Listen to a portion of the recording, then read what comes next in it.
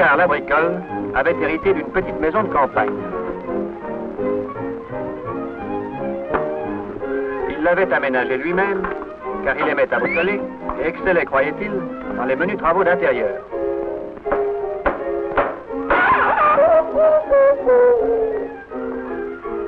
Il se serait cru déshonoré d'appeler le plombier pour déboucher un évier.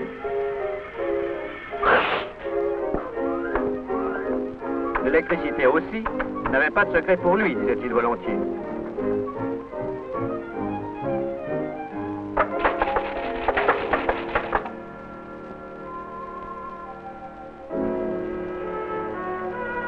Hélas, la guerre a passé. Après le premier moment de découragement, Oscar Labricole, dédaignant les conseils d'un architecte, décide de rebâtir sa maison lui-même. Aidé du père Hurlu, son futur beau-père, et du gars Berlu, lançant la démolition des